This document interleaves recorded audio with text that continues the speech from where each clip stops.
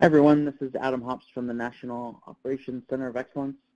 Thank you for joining us today on May's Talking TIM webinar series. Um, really appreciate everybody logging on.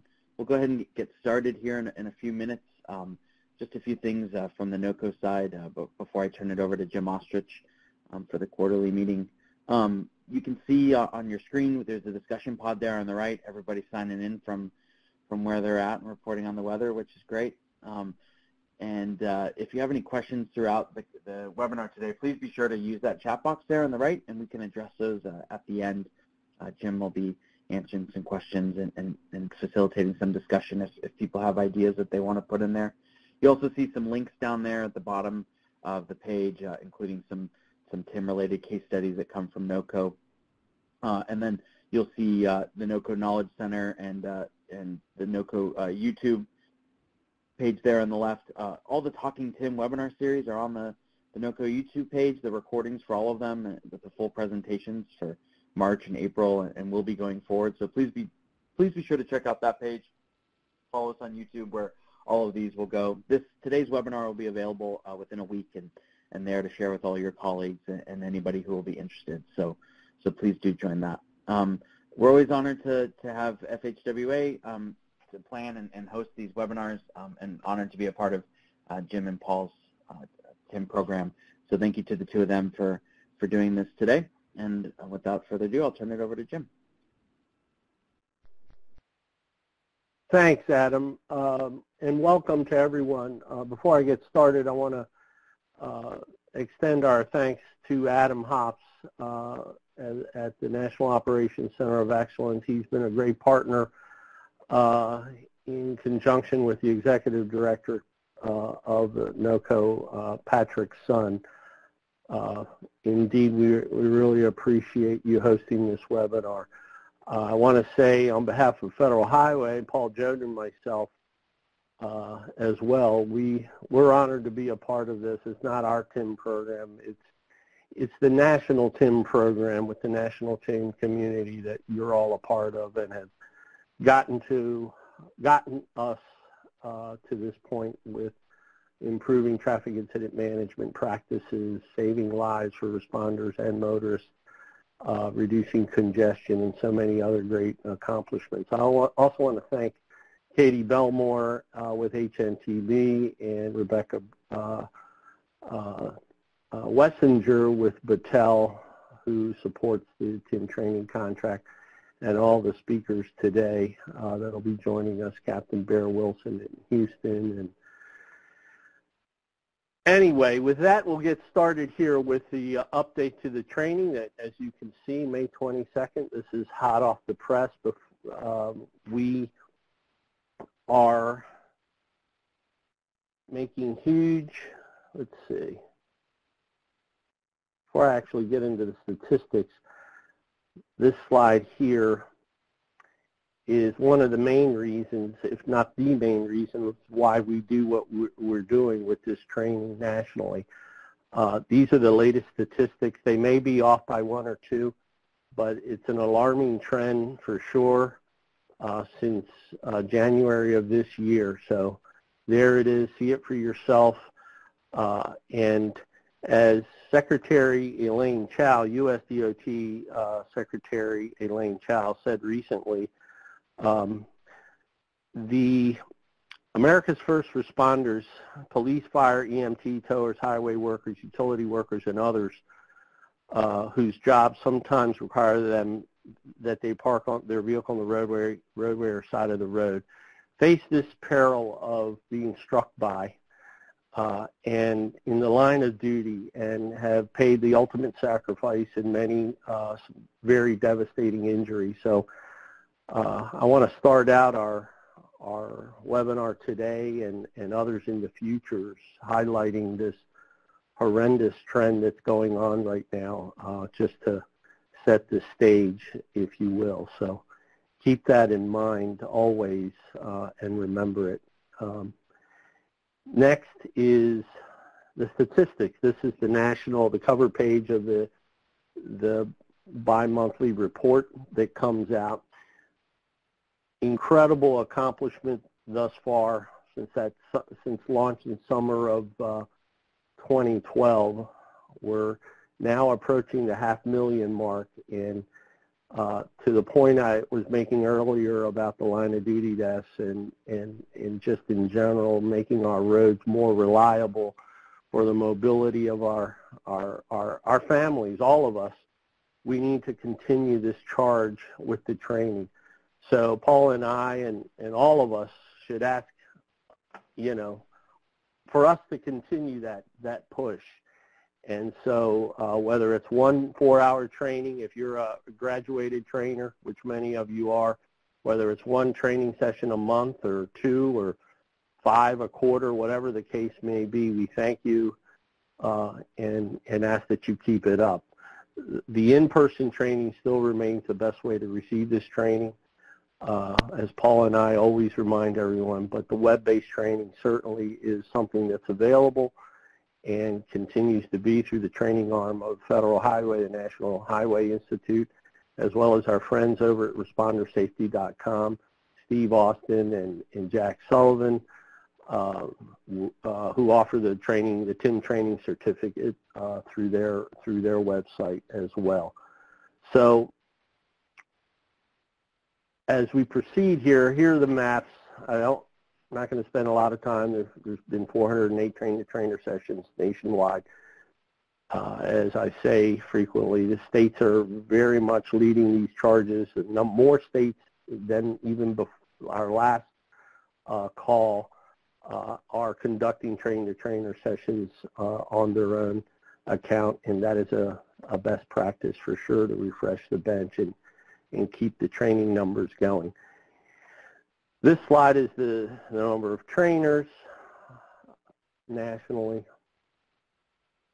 Next slide here depicts the uh, both the in-person above the parentheses uh, number, which are those that are uh, trained in, online.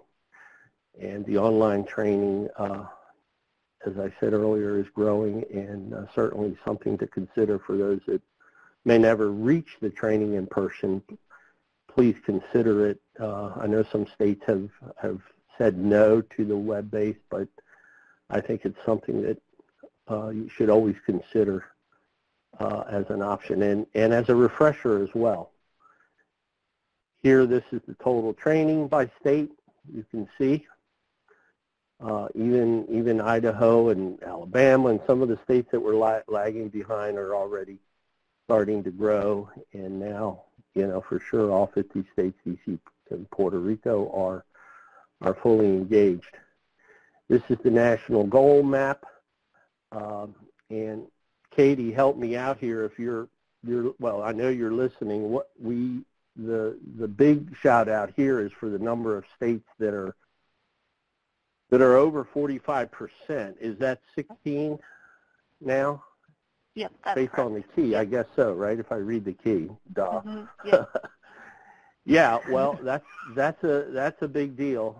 Uh, that number in parentheses, just as a reminder of those that don't know, that is the the total number of responders that each state has uh, projected or estimated uh, that need to receive the training in their state, and that's all disciplines combined.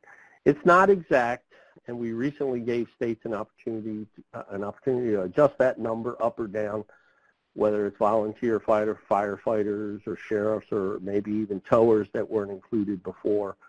Uh, but as you can see, the number in the lower left parentheses, uh, that 1.158 is uh, is our goal, and and as I hear from um, many uh, executives and, and mid-level managers, it's truly probably closer to 2 million that we need to, you know, make sure receive this training over the next decade.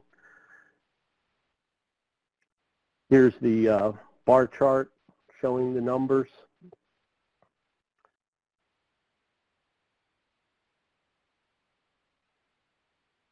And with that, I want to give a quick update well, here's the uh, the slide. I, sh I, showed this slide before, but our meeting back in December with the executive leadership group, as they're called, the ELG, um, that come to headquarters and meet with us. These are executive CEOs from all the major associations, um, police, fire, towing, etc., AASHTO, transportation, and, and a few others, the EMS community for sure, and um, National Sheriff's Association, et cetera. And with, well, okay, important uh, important news for you here. Uh, we're obviously in the new year, fast approaching National Traffic Incident Response Awareness Week, November 10th through the 16th, 2019. And um, this is our, our slogan, our new slogan that you see here on the banner, Traffic Emergency Actions Matter, be a part of the team. And you're going to you're invited, you're cordially invited to the planning sessions that begin on Tuesday to June 4th through Tuesday, um, the Tuesday of November 5th, uh, leading up to that, that week. Our contractor, Gannett Fleming, Chuck Yorks, uh, and company leading it, uh, and many of you last year uh, participated 36, I think, or 37 states so I wanted to give you a heads up that this is coming. This is very important this year. Our goal is to have all 50 states, including D.C., Puerto Rico, uh, join us and have um, participate in some level of activity as, you know, whether social media, ride-alongs, you know, demonstrations, whatever it is, proclamations, that's another one. Um, but just a, a big push and we need to incorporate the message for the move over law, uh, you know, compliance in all 50 states, DC and Puerto Rico, as well as messaging regarding this this carnage, this phenomena of uh, struck by that we talked about earlier. So stay tuned for that and be be watching for the invitation uh, emails that will be coming out inviting you to participate. And Please include your public affairs folks, PIOs, et cetera, in these calls. Um, next is, well, I want to, Katie, I, I, I don't want to, if, it's okay, I'd like to move, I'd like to move to um, pass this presentation first. Paul, I hope you don't mind as well. I would like to go uh, uh, directly to the update by uh, Dr. Jonathan Krohmer, uh, who is, and Dave Bryson, but Dr. Krohmer uh, is going to speak here for a few minutes about the um, Commission on Accreditation for Pre-Hospital Continuing Education, uh, known as CAPCE, uh, certification that federal that we received for the four-hour TIM training back in February. A lot of you heard me mention this over the past year or so that this was coming to fruition. And uh, thanks to Dr. Krohmer, who is the officer director of the uh, EMS, Office of EMS for NHTSA, a hugely important partner uh, to Federal Highway and his team, Dave Bryson and many others. Uh, Dr. Krohmer represents uh, for us on this certification our medical doctor, and without him could not have, you know, this would not have been possible. So we're trying to reach the EMS and EM, EMT community, those of you who are paramedics and, and uh, emergency medical technicians, uh, that you can take this course now and receive uh, credits, CEs for uh, certification as well as recertification. So with that, Dr. Uh, Dr. Krohmer. Thank you. We appreciate the opportunity, and, and we also appreciate the um, ability to cooperate with you all on this. You know, as, as you noted earlier in the discussion, EMS is one of the disciplines that is, is significantly affected by these issues, and we um, have been trying for a number of years to increase EMS participation, both in the online and, and particularly in the in-person courses. Um, it, there's an ulterior motive for doing this, but one of the um, um, advantages, or one of, one of the enticements, let's put it that way, of getting EMS personnel to participate is that they are all required over uh, the period of their recertification time to obtain a certain number of continuing education credits. And the ability to offer uh, credits for participation in the TIMS courses will be, we think, a significant draw to the EMS community. Um, I know that with the uh, agency that I'm involved on the Eastern Shore in Maryland, uh, we were able to get a number of folks into recent courses in Maryland, and actually the the ability to get to get continuing education credits for them uh, was uh, definitely a plus in encouraging their participation. Uh, not surprisingly, they came out of the course saying, holy cow, this is a, a, really valuable thing, and we should have done it earlier. So we hope that will, uh, that perspective will continue to um, uh, increase as we move forward. The, the mechanism that is available at the national level to allow for those continuing education credits is uh, through the Commission on the Accreditation of Pre-Hospital Continuing Education, or CAPCE, as Jim noted. Um, it's the, the nationally recognized entity that allows for uh, certification of continuing education programs both for state relicensure and for those states that require uh, certification by the National Registry of EMTs really the way to do it. Um, I will commend uh, both Jim and Dave Bryson on our staff for working through the application process.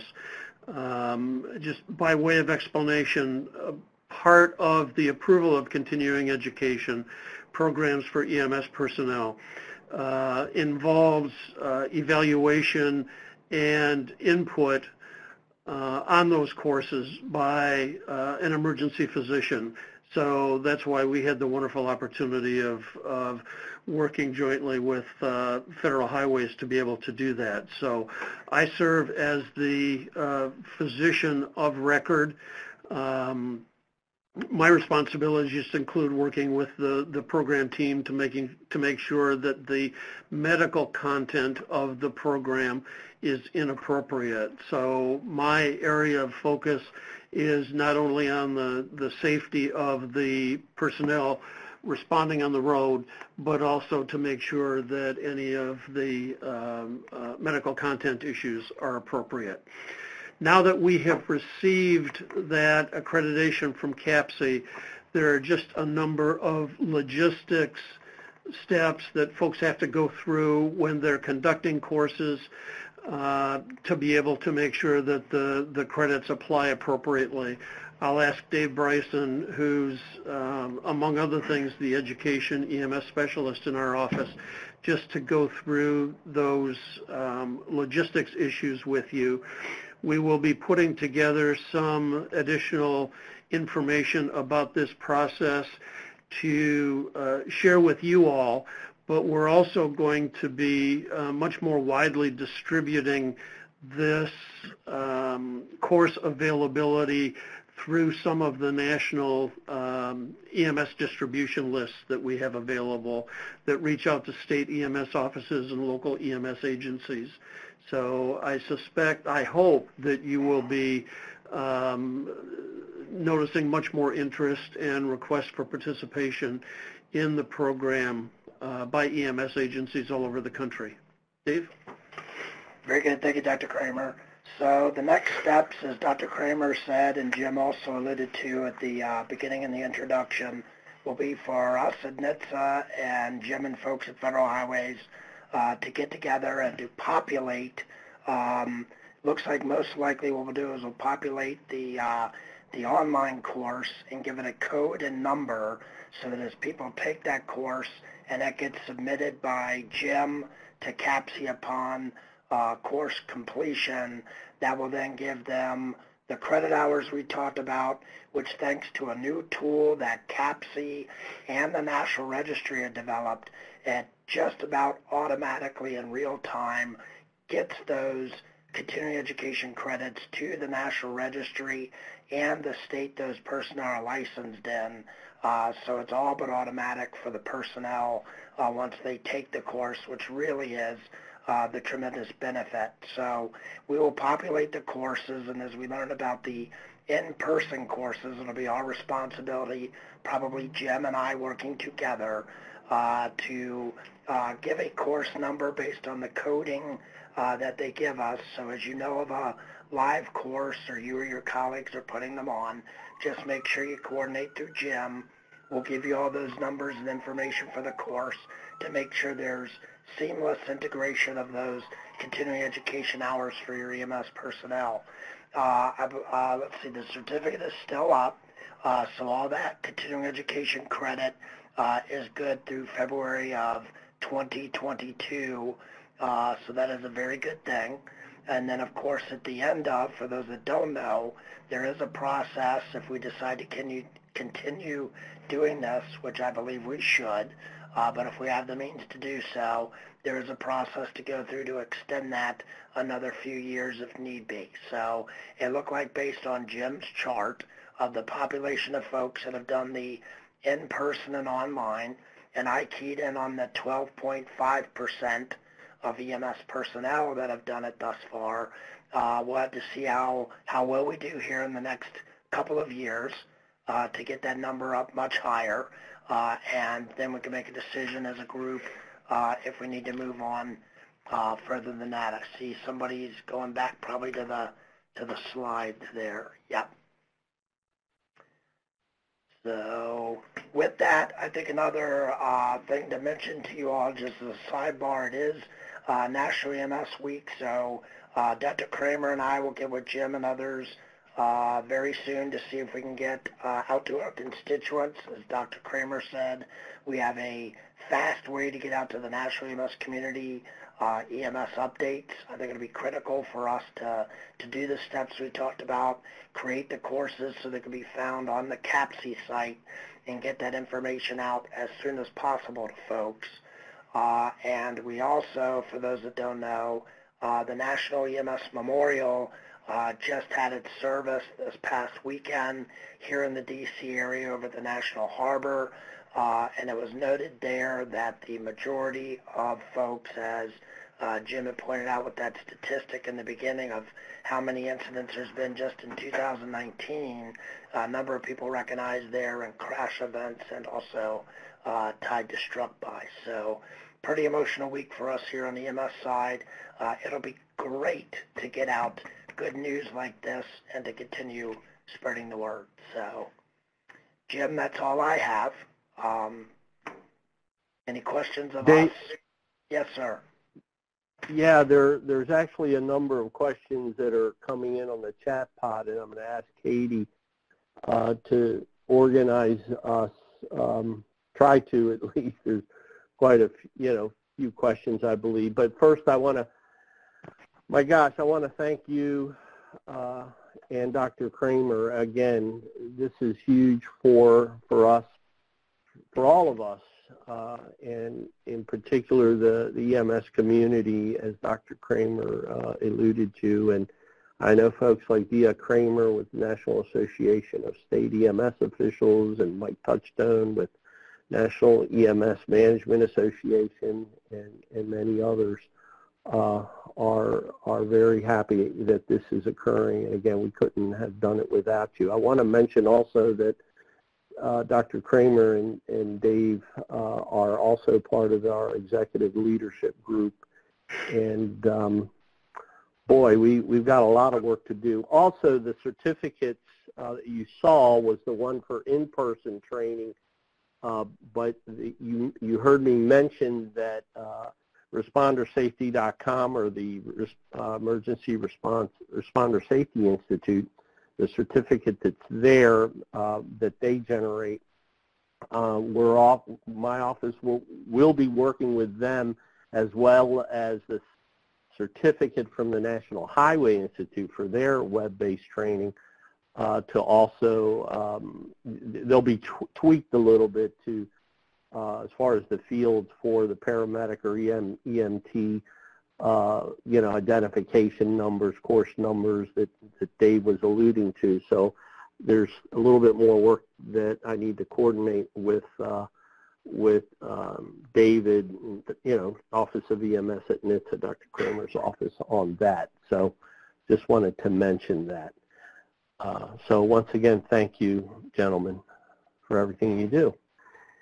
And let's see, questions. Katie, did you copy uh, as far as any questions? Do you want to try to field some now for them, or do we want to wait to the end? I, think I, I think as long as Adam's okay with it, it'd probably be best if we try to answer the questions right now. Um, the first one is in regard to if the uh, continuing education is awarded for both train the trainer as well as the four-hour class. Um, so I believe we focused on the four-hour class, uh, Jim, but please correct me if I'm wrong there. Well, I'll answer that for you, I think, because um, Yeah. typically train the trainer courses, because they're a supplement to the actual education program, are not eligible for uh, any, there are some supplemental education credits that you can get, but for this type of a thing, it would be only for the basic course. Perfect. And then um, a question about an announcement notice that we can forward with all the relevant info. And I think that's something uh, that we still need to pull together and then we can distribute out to the TIM training group, um, you know, instructions where you can find the certificate and how to go about making sure um, your EMS attendees get the credit that they need. So I don't think we have that right now, but I think that's definitely something Yeah. we're going to work on and distribute in the near future. Yes, that's correct. And Dave alluded to it somewhat. We're, you know, Yeah. we're, we're I'm going to work with David. We're going to work with David to, uh, you know, address all that. That's a great, great question and, and point that stay tuned. Uh, Soon, soon to happen. Yeah, and that, that will contain the course number and the other information that you need in it. Yep. Exactly. Thank you, Dr. Prim. And then the And one then about the Any the- other? CAPCE I'm sorry, Mhm. the one about the CAPCE certificate, as Mhm. Jim mentioned, we'll be modifying the uh, overall course certificates to include, pardon me, to include the um, uh. CAPCE appropriate information. Yep. And that'll be part of what we send out to everybody. Yes. Affirmative. Okay, perfect. That should be all the questions, Jim. Okay. Well, thank you for those questions. Next, we're going to move, uh, Paul going to uh, handle this one, correct? Or is uh, Rebecca? I can. I c no, no, this is a, no, Rebecca, this Well, be hers, yeah. Okay, uh, let me introduce the one and only real quick, Mr. Paul Jodoin, our National TIM Program Manager and partner in crime, uh, along with, Oh, uh, I oh. see Rebecca Brewster. Is that Rebecca joining you on this one? No. Um, yes, we want to go I back just saw this. Rebecca, I just saw Yeah. Rebecca's photo below yours. That, that was that was just a, a, a hint of things to come, Jim. Yeah. Very good. Welcome. Go ahead, Paul. Um, yeah, so you know, just before I get I get started on the on the uh, post-course assessment uh, training tool results, um, you know, looking at that chat pod, man, I'll tell you, Jim and I are easily excited anyways, but boy, I you know, it just gets me so excited and, and, and to see all these people from every state in the union just about all looking at um, you know, this is the first time I, I've seen us do this, is, is just to chime in from north, south, east, west, coast to coast, south, north, you know, mid part of the country, everyone working in the same direction and, and seeing so many friends, new friends, old friends, um, soon to be friends. I mean, this just is exciting to see, uh, to see all these people from all over the country all working in the same direction on the same, on the same stuff. It's just, um, um, sorry, I just got emotional there for a second, so now I digress. but now I'll I'll move on. Um, so we, It's you know, quite all right. We appreciate that, Paul. Thank you. Yeah, You're it's- absolutely right. It's very cool that chat pod right now. So um, Jim and I have made a decision. Um, we, you know, we, many of you know, we've had this TIM training, post-course assessment tool. We had surveys at four different levels um, that we conducted. Um, we, we um, have got a lot of good information from it, from it that I'll share with you in a minute. But we have decided not to move forward with the tool. Um, it didn't seem to resonate with the responder community. We have the information we, we need. We've got a lot of good information. I'm going to show those results right now. And um, um, but I did want to make you aware we won't be harassing you about completing your your um, your um, your tools again and um, and the results. So we have a report. I won't read the report to you, but uh, it, um, there's a final report that's posted online. It's on the Federal Highway website, or we can just give it to you if you if you reach out to us with the results of of the uh, you know the survey from the different training. Let me assure you. Let me assure you that it is all extremely positive. So the responders who you know are tough, are tough uh, to please. They'll they'll tell you like it is, as they should um, you know, we, the training has received nothing but positive results. So this is something in your back pocket when someone wants to say, well, so what about the training? Um, this is something you can see that the, re- that the, that the responders, um, you know, really felt that this was, um, you know, that this was, uh, you know, something that was a, a very, very worthwhile um, endeavor. So um, I don't know if Katie, we have it that they can download. Wait, wait, well, this is available. So It's I was online. gonna, I was gonna say, Adam is actually gonna make this available as one of the downloads for this Okay. webinar as well. So at, and when he has the downloads, this is, this will be part of it. So Okay. you can get it there, and then it'll also be available on SharePoint and other places. Yeah, it's it's, it's There it already on the Federal Highway website. I, um, I, I actually got Mhm. this through Public Affairs in a timely fashion, which was surprising to me. But uh, anyways, there's a, a lot of good stuff there. It's only like um, we we purposely made it short and sweet, just so that um, you know that it would be easy for you to use and to share with others. So um, um, please take it, review it, use it, ask any questions you might have. Katie was involved, and Jim and I um, in, uh, in, in, in doing these evaluations. And actually, Rebecca was actually as well, uh, but that's not why she's on with us today. So, um, yeah, so um, there's the next steps. We, we, um, we just told you about that. And um, Jim, is this back to you, or Katie, or Jim? Or some training materials? Want me to, ha- want me to handle this real quick, Jim? Yes, please. Thank you. Okay. Okay. So I just, uh, as part of that, um, the L32C, or sorry, the course assessment tool, um, we are just going to make minor tweaks to the training materials. So like it said on the previous slide, we're removing the instructions for accessing the site um, from the student handout. We're also going to remove that slide um, from the PowerPoint presentation so that information isn't, you know, in there to direct people to something that doesn't exist anymore. Um, but this is a super minor update, so we're just going to call it version 3.1, and it'll be dated May 2019. Um, the only other thing we're going to do is we just had a minor revision to slide 136.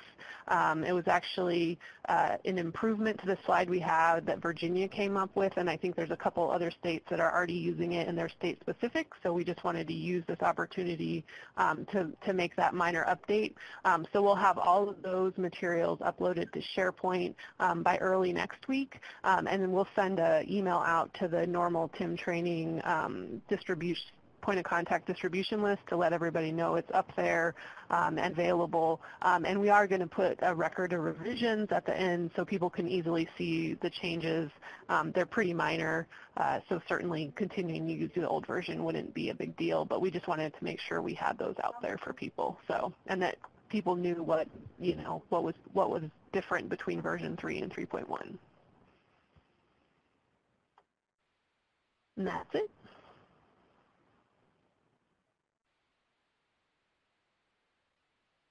Okay, thanks, Katie. Go ahead, Paul. No, no, go ahead, Jim. Jim, go ahead. No.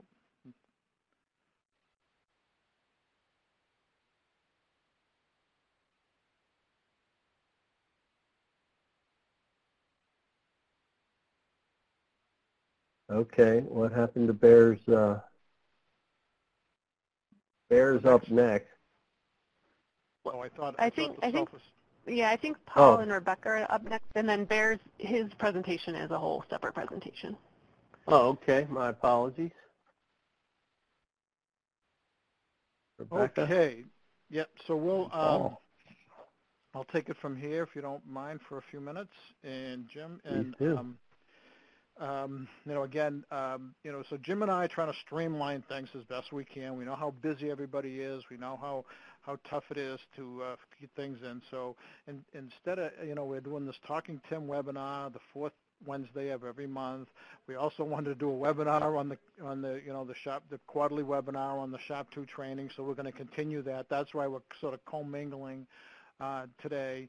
And another thing we're co-mingling is uh, we usually have a whole webinar on just the, the, the TIM capability, maturity, self-assessment kickoff, to kick off the season of the self-assessment that everyone loves.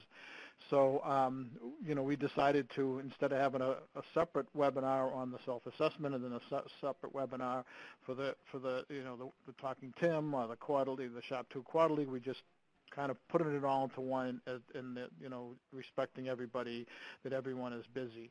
Um, so it's the fourth Wednesday of every month. We'll, we'll give you the, I'm, I'm real close to having an, an, an, an exciting agenda for next, next month. Um, um, we're probably going to be talking a little bit about CAD. We're probably going to talk a little bit about something tactical, um, uh, boots on the ground type of information um, that you can use on scene, and then um, uh, you know a pro- program level. It's sort of the format, loose format that we'll be we'll be going uh, using every every month. So um, we'll be uh, Rebecca is going to uh, Rebecca Brewster um, is a support contractor from ATRI is going to talk about the self-assessment both the last year and this year.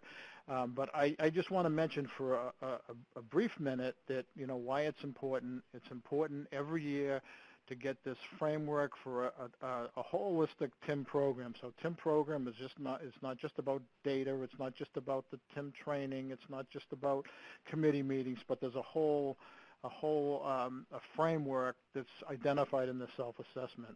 So you, you know you should sit down with your partners and try to answer the questions and determine at what level you're at for each area. Um, you know who- should complete it? The top 75 metro areas, and then anybody else. Um, it, you know, every state really should be completing one at the state level if you don't have a top 75 metro area in every committee, every single committee, there are well over 100 committees, somewhere between 100 150 committees by my guesstimate. Um, i- i- in my opinion, they all should be completing the self-assessment. It helps your stakeholders understand what a holistic and, and the framework. Um, it helps us gear here nationally how well we're doing, and last year we jumped um, 2%. So, um, you know, we continue to improve every year. We've, we, we can, and Rebecca will talk a little bit more about that. But so I might urge you all that are involved with the self-assessment, and most of you are, uh, um, I urge you all to push your area, your committee, to pick one or two things from the self-assessment that you can go to another level. So how do we go from one level to the next, and um, what are those one or two things that we can do to continue improving uh, over the years? So um, for this year's self-assessment, again, trying to respect everybody's time and try to streamline things.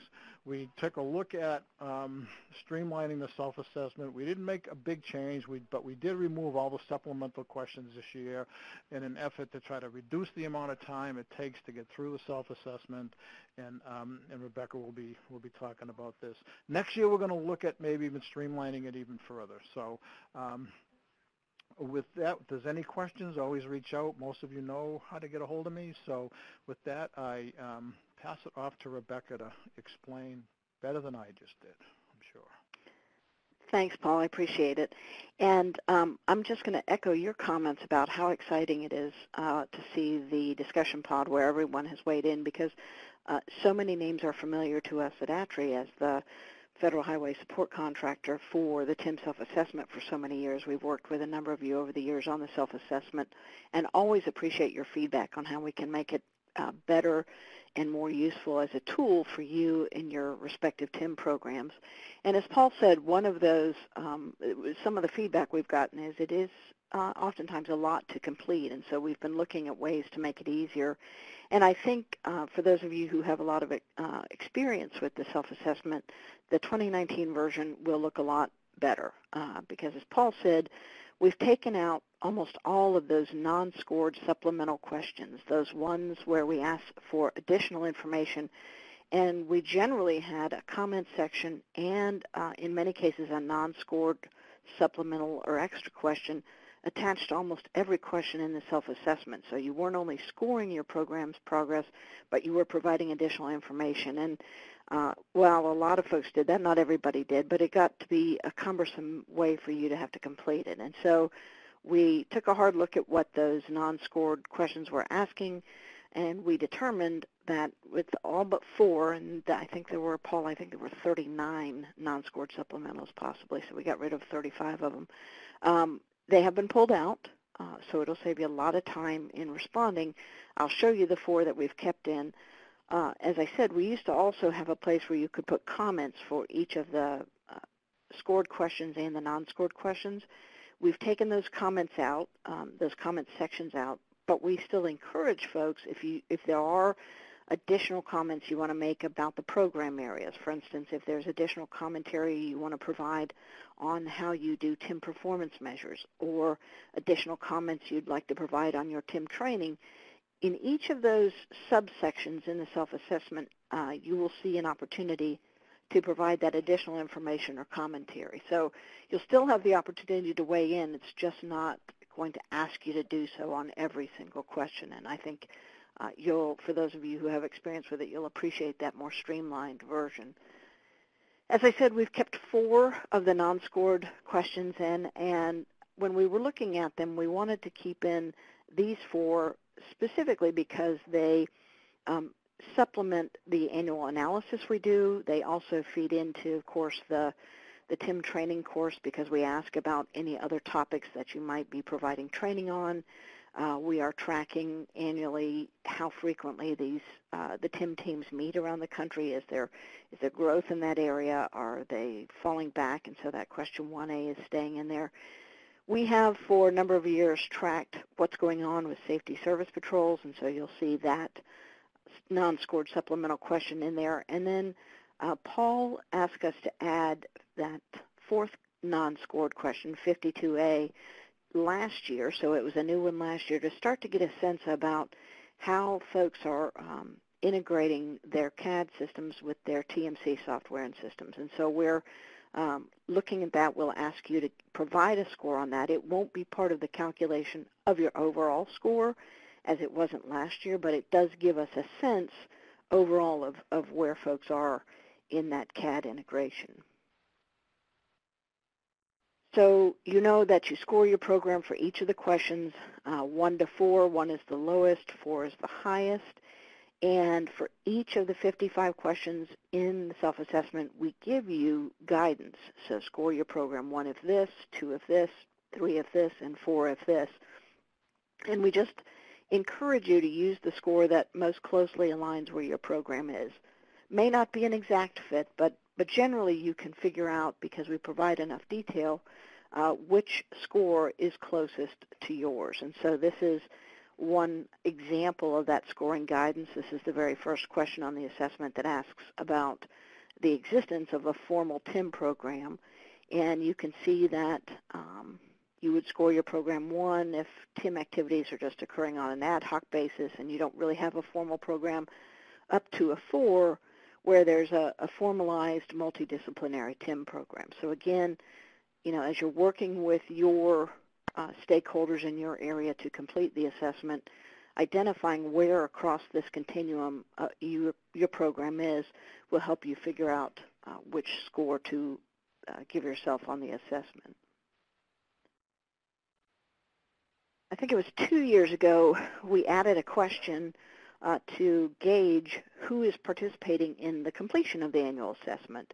Uh, since its very beginning in 2002, it is uh, we've always encouraged, 2003 I should say, we've always encouraged the self-assessment to be done as a group exercise with all the TIM stakeholders, and so it finally dawned on us that we should sort of gauge if that is, is still continuing to happen. And so we ask at the very beginning of the assessment for you to tell us who has been part of the assessment process. And so you see the types of stakeholder groups there.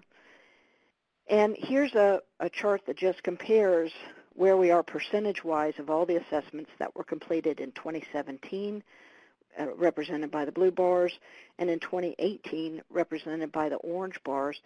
And for all but one of the stakeholder groups, we saw increases in the percents of programs uh, that were using or including these stakeholder groups in completion of the assessment. So that's really good news. Um, you know, we'd love to see these numbers continue to grow as more stakeholders or newer stakeholders uh, not only engage more actively in your programs, but uh, specifically get involved in completion of the TIM self-assessment. Uh, as Paul said, uh, Federal Highway likes uh, certainly all the areas with a, in the top 75 metro areas to complete a self-assessment. If you're in a state that does not have a top 75 population-wise metro area, um, certainly uh, Federal Highway would encourage uh, a statewide uh, self-assessment to be completed, but really anywhere where there is a group of uh, TIM stakeholders who get together to work on traffic incident management, that is an opportunity to evaluate where your program is using the self-assessment. This is a map that uh, we have populated with locations with a well-supported traffic incident management program. This map is a work in progress, and we would love to see more red dots on this map. So certainly, uh, if your program is not represented by a dot here, uh, we would certainly encourage you to reach out to us so we, that we can add it uh, as well. We originally utilized folks who were completing the self-assessment and who scored that very first question in the self-assessment as a three or a four. We included them on the assessment, but more programs have reached out to us as well uh, who have met the definitions uh, of a well-supported traffic incident management program and added to them to the map as well. So we would encourage you to do so as well if your program is not represented here. So a little bit about uh, the findings. And, and, Paul, before I go on to the findings from 2018, anything on the 2019 assessment you want to touch on?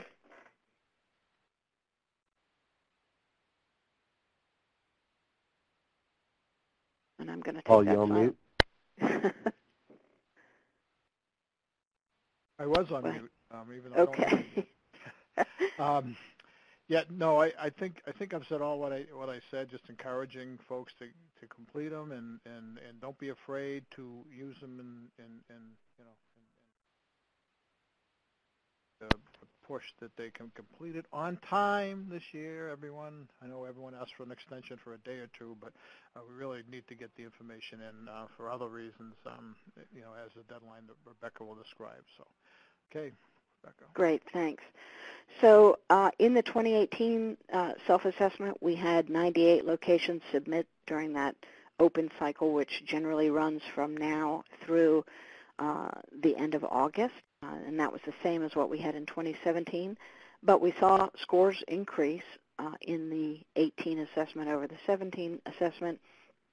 We had an average score of just over 70 out of a possible 100. Uh, recall that we always mark progress in the self-assessment over what the baseline scores were, and the baseline scores were the initial assessments that were done in 2003, 2004, and uh, a few locations didn't get started till 2005, but those were our baseline assessment scores. Uh, and you can see that we've progressed uh, nearly 40% increase over the baseline, so great progress. Um, there are differing levels of uh, advancement depending on how large the area is, and so we always, for purposes of the annual report, break out uh, the overall scores for the top 40 metro areas population-wise, top 75, and then everyone else, or as we call it here, the non-top 75, and you see those scores here. Uh, this just shows the past 10 years of scores. Um, and, and for those who have been with us on the self-assessment for a number of years, you know every several years we go through a fairly significant revision. The last such revision to the self-assessment was done in 2015, and that uh, probably the biggest difference there was we brought that greater level of specificity and guidance to what we were asking people how to score their programs. And so we saw a little bit of a dip there, but we've been uh, generally climbing since. And so in 18, we returned to the highest score in the assessment that we had seen uh, since uh, pre, uh, pre-revision. We always, in the annual analysis report that we uh, do for Federal Highway, we look at the highest scoring questions and we look at the lowest scoring questions. For the most part, these five questions and maybe one or two others are generally among the highest scoring. They're the ones who typically show up here as key areas that TIM programs across the uh, country regularly do and regularly score themselves high on. Um, so while the uh, ranking of these may change, generally it's these five and, and perhaps one or two others that are typically in our top five to seven highest scoring questions each and every year. Likewise, we have, since the beginning of the assessment, typically seen the lowest scoring questions in the TIM performance uh, measures subsection of the self-assessment, and in 2018 that was no different. Uh, the, the good news is, while they are the lowest scoring questions, typically the highest jump over baseline, so the biggest progression we've seen in scores, is also in the TIM performance measures subsection of the self-assessment. And so while these are lower, lower scoring, they are continuing to increase, uh, thanks in large part to all the work that Federal Highway has been doing in this area. And so you see in the 2018 self-assessment, the lowest scores were specifically about uh, secondary crash uh, as a performance, secondary crash data as a um, performance measure, as well as um, incident clearance time. We also ask a series of questions on roadway clearance time, but it was the secondary crash and the incident clearance time questions that were among the lowest scored. As I mentioned, um, while they are among the lowest scored, we do see improvement, and uh, that was the case in 2018 over 2017. And you can see in those questions uh, uh, four out of the five, we saw an increase uh, in the percentage change from the 2017 average score. So again, good forward progress in the area of TIM performance measures because of all the work that is being done there is, is starting to pay off. I mentioned when discussing the supplemental questions that last year we added a new non-scored supplemental that was designed to gauge uh, CAD, uh, public safety CAD integration with um, TMC software. And so while this score is not part of the support section score or the overall score for your area, we did want to gauge where folks are, and so you can see that in last year's assessment, almost all of the respondents provided a score of 94 out of 98, and uh, the average score was 2.29. And so we will um, again look at that uh, this year and see if that uh, score continues to increase. Paul mentioned uh, one of the key reasons that Federal Highway has been doing the self-assessment is to gauge nationally where TIM programs are, but also to provide you a tool locally to figure out where your program may need some work, uh, things you want to advance on. And one of the great pieces of the self-assessment is that it provides pretty clear guidance on how you can, some, some pretty clear and discrete steps you can take to improve your score from one assessment to the next assessment. And so here you see some of the sample guidance that is provided, in this case for uh, the use of emergency vehicle lighting. And again, as Paul indicated, it's a great idea to pick one or two or three questions or areas in your in your TIM program, use the results from the self self-assessment, and use this uh, guidance uh, as a program of work for the next year, some things to work on uh, to improve that particular question score.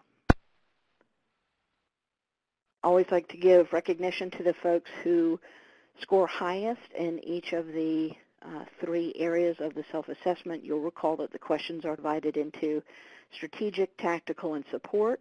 And so among each of those areas, we have the highest scoring TIM programs here. They are not in rank order, they're in alphabetical order, but uh, congratulations to the folks in all these areas for, for really working hard to uh, move their and advance their programs along.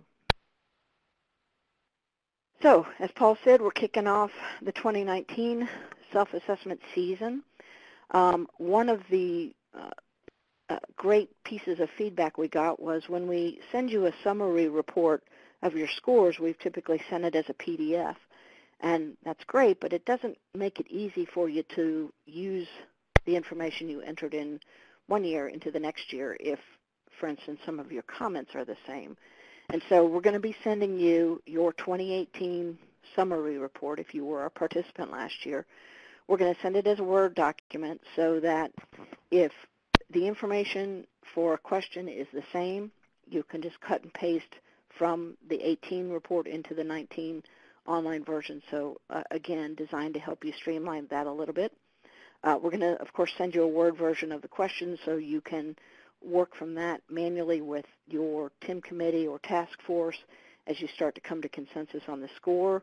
Uh, you will always, once you submit your self-assessment online, you will get within one day a confirmation from Carla Rose on the ATRI team who will confirm that we have your self-assessment submitted.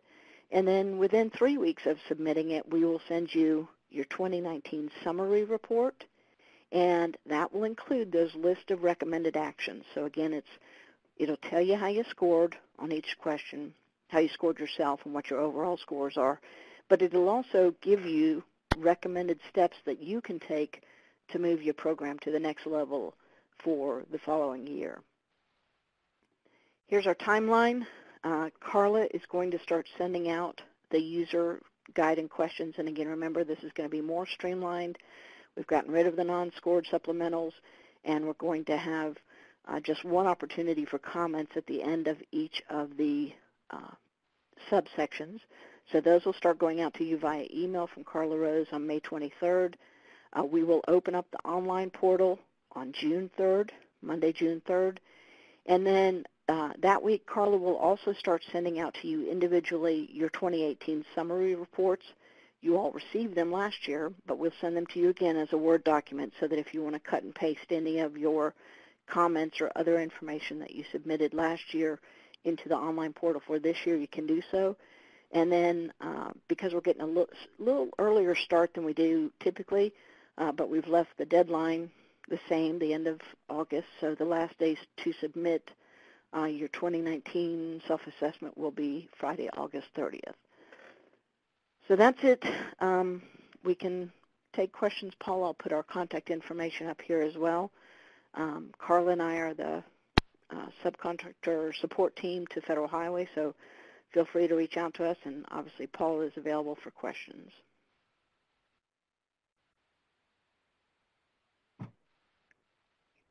While anybody's typing, uh, this is Jim again, uh, and I apologize, Rebecca uh, just for the record, if you could um, share your title, and again, uh, most people know ATRI, but if you could share all your title and oh. organization's name. Certainly, certainly. Um, uh, I'm the president of the American Transportation Research Institute, ATRI. We're actually the trucking industry's not-for-profit research organization, um, but we have been active with Federal Highway in the area of traffic incident management for 25 years now, over 25 years, um, because of the importance of traffic incident management and what you all do every day to keep trucks moving down the road and, and keep freight moving. So wearing my trucking industry hat, thank you very much for all you do uh, to keep trucks moving down the road. Thank you. Thank you very much, Rebecca. You, you've been a great partner and uh, can't do it without you as well. So Anyway, Paul, any any remarks here at this point? I I think um, I think uh, I've said enough for today on on the self-assessment. so um, everyone okay, gets it, everyone gets it, and I you know they know I'll, I'll be harassing those that are traditionally late. So, um, uh, um, but um, looking forward to the season. Looking forward to you all getting together with your stakeholders and and uh, stirring the pot a little bit again this year. Yeah. And if you don't mind, I'll say real quick that uh, how important it is. I know it's the self-assessment in particular has been been on uh, going on since 2013, uh, but a, an important tool. 2003. I'm sorry, 2003. My apologies.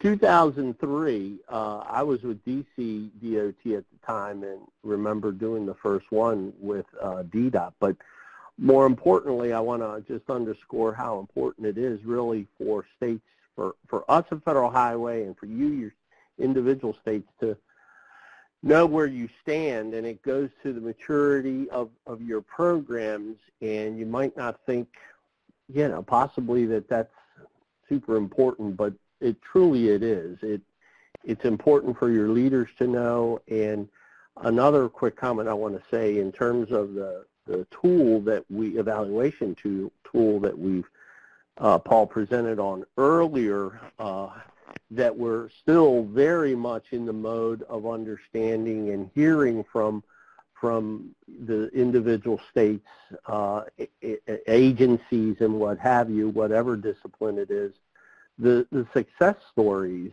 uh, in terms of, you know, performance, uh, just anything and everything that you can provide that proves that, uh, for example, training your responder community is, is reducing, you know, clearance times, roadway clearance times, secondary crashes, fatalities, and all the rest of it. That is, we're, we're at a point where we need to continue to sh show those results. So um, with that, we can move on. I guess now it's uh, Adam, it's Bear Wilson who who will present.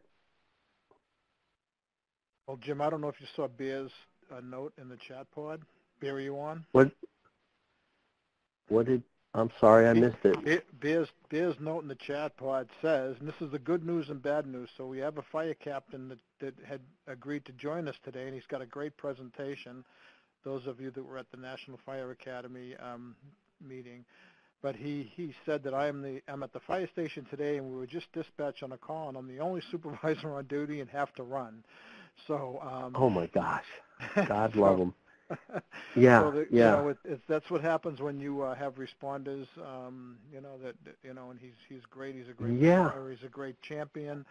Um, Huge. But you know, uh, we don't want him to miss a call. so, um, yeah, yeah, uh, and no, Paul, you're absolutely right, and God bless him, and hope hope he's safe in in in all the the response uh, to whatever the incident is in Houston there. But I I want to share, as Paul said, Bear Wilson, Captain Bear Wilson for Houston Fire has been hugely successful and instrumental in uh, expanding the training in the Houston uh, uh, city of Houston and Houston uh, region. And recently, he he and with the you know help of others, but he uh, was the catalyst for the entire department, Houston Fire, uh, receiving the TIM training. And I also want to say that that he doubles. Uh, Bear, you know, is also a constable, so he he's both you know law enforcement and fire rescue EMS, and the guy's just incredible. As Paul said at our recent uh, National Fire Academy symposium, Bear presented and well it's okay. We you know we can always have bear on next time and we'll have to, uh we'll have to get him on next time. Maybe he won't when he's not on duty maybe we'll coordinate. Um, yeah i don't know about that because bear is so dedicated yeah, but yeah, yeah he's always on well, duty it seems so yeah. Yeah yeah.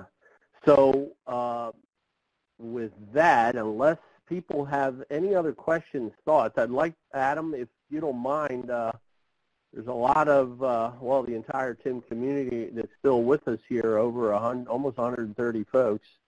Uh, questions still, you know, there's opportunity to still ask questions here, but maybe if someone, uh, we open the lines and, and someone would like to make any comments, that kind of thing.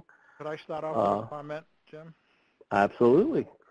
So I, I just, you know, when I where I got so excited a little earlier, and I'm, I apologize, seeing all all everyone from all over the country, uh, far and wide, uh, joining us. Um, there was this one old friend that I've identified on there that's been in this game with Jim and I since the early 1990s. I'd like to give a shout out who's been fighting the the good fight since the 1990s that I know of. Uh, Mr. Brian Purvis is uh, is uh, has been with us for a long time, working uh, working in this in this area. So I just uh, I just wanted to uh, say hello to him and for all the great the great work that he's always done uh, throughout the country, um, Brian.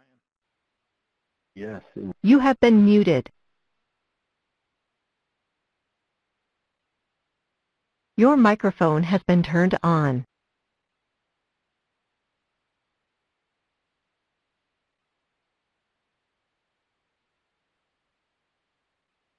Apologies, Jim and Paul. I was in an attempt to unmute everybody. I accidentally muted the two of you mid-sentence, uh, just as you were paying tribute, Paul.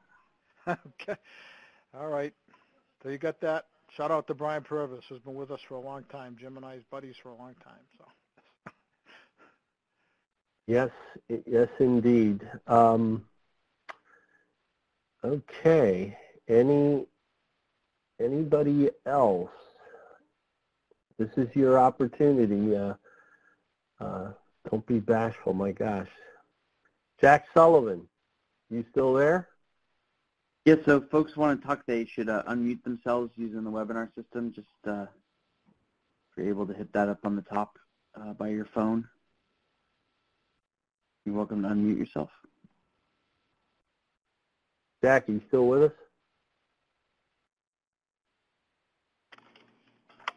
Jack's typing, okay. Okay.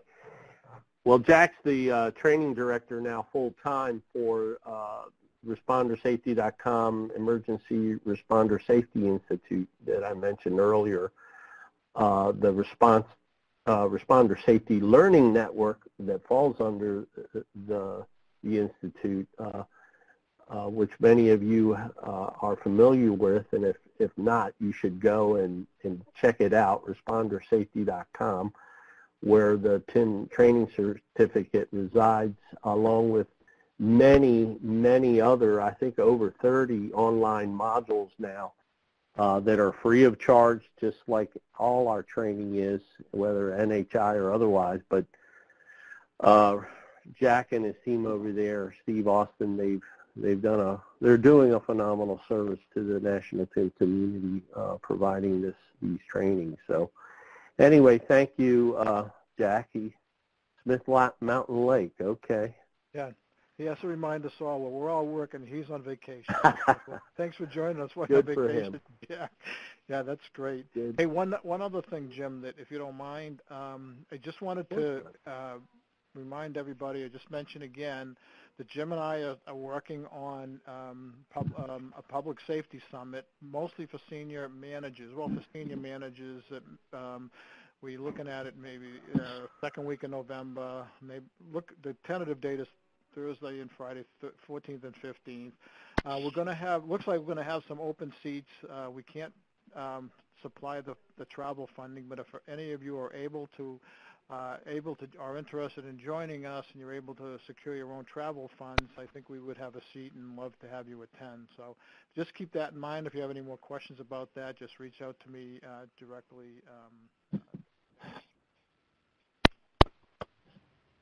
Yep, that's that's a good one, Paul. some practitioners mixed in with the uh, with the executives. Um, we're trying to, uh, with Jim and I are trying to put this thing together. Um, Yeah, it's a it's a big lift. Paul's leading. I'm I'm helping as well, uh, but it's going to occur at headquarters, like Paul said, November 14th and 15th, Lord willing. And the cool thing is we're going to combine the uh, uh, National Traffic Incident Response Awareness Week event uh, at headquarters on the on the second day on Friday the 15th. Uh, and and I know Friday's tough, but we're gonna we're gonna ask the executives, everyone, to bear with us and please understand that we need you to stay. No early departures will be allowed. Just kidding, but anyway, thought I'd plant that seed. Uh, but um, one thing I want to mention too that I know Angela Barnett, who's on the call today from Arizona, leader in towing recovery nationally, but in the Arizona and Phoenix area. Uh, I know she mentioned she wanted me to mention, and I forgot to mention this as well. Important on May 10th, uh, Congressman Andy Biggs uh, reintroduced a resolution supporting state move-over laws and this is a big deal, folks. We, I, I'm pretty sure, maybe didn't capture everyone. I sent this out a couple, couple weeks ago uh, to the national TIM community uh, because, like with the training itself, we need to to really ramp up the messaging and, and marketing and uh, social media or otherwise to the motoring public uh, of the importance of move-over laws. So Congressman Biggs, uh, uh, huge supporter in highway safety, and and so that's that's a really good thing. And he proposed a national move-over law day uh, to occur the third Saturday in October. So FYI that if you didn't know it, and um, um, spread the word, if you will. Jim, um, I think someone, Katie or Adam, put up the national, um, the ITS uh, Responder Day. You want to talk about that for a second? Oh yeah, that's that's fantastic. That's another one here in Washington D.C. The Intelligent Transportation Systems or Society of America this year is hosting their annual conference in Washington D.C. Uh, June, I think it's 4th through the 7th um, uh, at the Washington Convention Center and as has and as has been the tradition, I believe now 10 years, I believe, right, Adam? Um, there this is number it nine. includes next year, 10, next year will be our 10th Okay. Thank you. Uh, a, emergency response or responder day as part of the conference, and this year is no different. And thanks to Adam and the whole planning committee, uh, we put together a, an incredible event uh, on the 5th, Wednesday the 5th, and vehicle displays outside um, as well as exhibits inside with a lot, you know, major focus on safety service patrols, the technologies, the latest and greatest vehicles uh, from various states, including New Jersey and D.C., Virginia, Maryland, et cetera. And uh, we're also going to be having a live session inside uh, to discuss a major tanker fire uh, late in the afternoon on the 5th and uh, testimonials by struck by uh, folks, survivors, if you will, and um, what else did I miss, uh, Adam? Did I miss anything? I think I think you got it all. It's gonna the day's gonna kick off with uh, a rally of everybody who's there, uh, updating the, the broader community on a quick uh, one minute updates on uh, what they're doing and the challenges that they're facing and, uh, and how we want to engage the ITS community to help address those challenges. Yes, sir.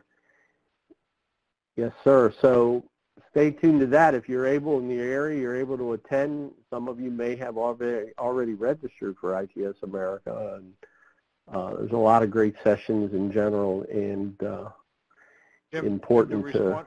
The responders get a um, free yes. pass on the on the registration that day? They do. That is that is correct. Thanks to Adam and the whole committee, um, for sure. Yeah. Good point. Important point. Thanks, Paul. And um, another, let's see, there's another point I wanted to make. Daggone it, senior moment. anyway, um, Chuck Yorks, are you on the line? although he may be on the other call, there's actually a planning call going on, I think, as we speak. He was on earlier. He was on earlier. Yeah, yeah, I, I noticed. Um, well, we can give him back any, time.